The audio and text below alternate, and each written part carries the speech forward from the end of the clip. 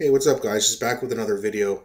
So I was just uh, doing a little bit of research, seeing if there's any updates on some polls. And I've talked a little bit before about, you know, how it's very unlikely that we'll have an election this year, because the most likely way that we could have one is if is if the NDP holds a vote of non-confidence and votes with the Conservatives and the Blocs. And the reason that's not going to happen is because Jagmeet Singh was you know, pretty far behind even with the Liberals in the polls. However, the last few weeks, I did a video last week talking about this, how the NDP was getting a little bit closer to the Liberals. Well, look at this. A poll that was updated this week. The Liberals are down 3.4%, down to 22% support. The NDP up 2.1%, 22, 22% support. Who's to say that the next week or two, Jagmeet Singh doesn't move up to 24, 25%, bringing the Liberals back down to 19 or 20%? Maybe he feels comfortable enough that that's, you know, that's a big enough lead for him that he can go for the vote of non-confidence that he can at least become, go from being the third uh, level to the second level, being the official opposition, which I think in his mind and a lot of his party supporters' mind would be at least an upgrade. It's not what they want, but it's better being in second is better than being in third, right? Still don't think he's going to call it, but this kind of like gives me a little bit of uh, hope, or maybe it's false hope, but who knows?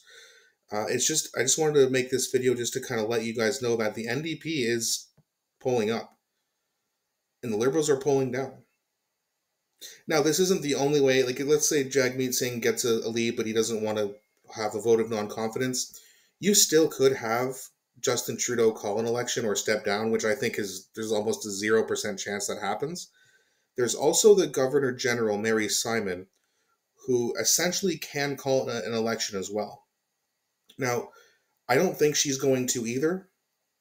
However, we do have this whole thing coming up with the Arrive Scan, or the ArriveCAN, or the Arrive Scam Act uh, app, as the conservatives and myself like to call it. So if if they do their investigation and find out that holy smokes, this isn't just sixty million dollars that was spent, it's eighty million dollars, and this was given to these contractors who did no work and it was taxpayer money. Mary Simon might look at that and say, okay, you know what? There's been so many issues with this guy. Canada is doing horribly right now in terms of the people's personal finances. Then you have the scandals, right? The Emergency Act, the applauding of a friggin' Nazi and now you have the Arrive Scan, the Arrive Scam app, where he was just stealing money, uh, Canadian taxpayers' money. She might then say, "Okay, enough's enough.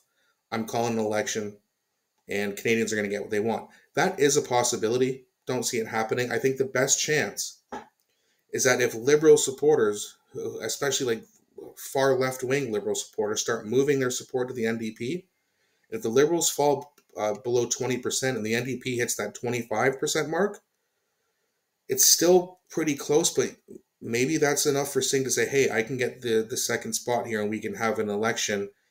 And I think that would make Canadians happy. Uh, they're not going to, he's not going to get support from the conservative movement right now because there's just too many people on Pierre Poilievre's side. But being the leader of the official opposition and then seeing the liberals sitting over in the corner there, which would be wonderful to see, so to be fair, I'm kind of rooting for the NDPs a little bit. Not that I want Jagmeet Singh to be prime minister, but I am rooting for them to overtake the Liberals because maybe that's the best chance we have to have an election.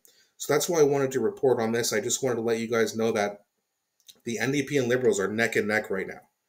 And that might just maybe make a difference whether we have an election this spring or next fall.